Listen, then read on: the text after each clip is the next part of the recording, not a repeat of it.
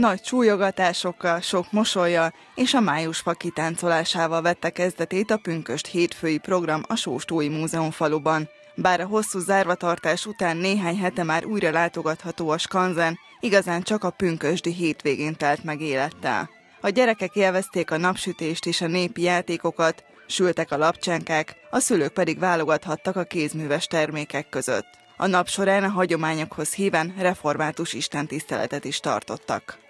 Az Isten tisztelet során pünkösdi szentélek kitöltetésére emlékezünk, az egyház születése napját ünnepeljük ezen a napon. A mai napon egy kicsit a Csissomjói búcsúra is gondolunk, és velünk van dr. Harangozó Imre néprajzkutató, akinek jó voltából fotókiállítás nyílik meg délután 3 órakor a múzeum faluban. Ez a tárat augusztus végéig lehet, lesz megtekinthető, és fotókiállítás keretében szeretnénk megeleveníteni a búcsú pillanatait az elmúlt 30 év dokumentálásából készült ez a fotókiállítás. Pünköstkor jósolni is lehetett a néphagyomány szerint a várható termésről és az időjárásról.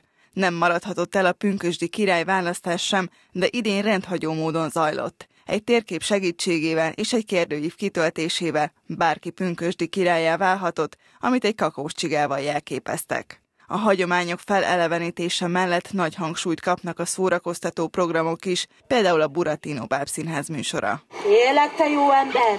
Dobj engem vissza a vízbe! Bármit kívánsz, teljesítem! Bármit kívánok? Bármit kívánsz! Hát, ami azt illeti, lenne egy-két kívánságom. De tudod mit? Tegyünk egy próbát, de aztán nehogy cserben hagy.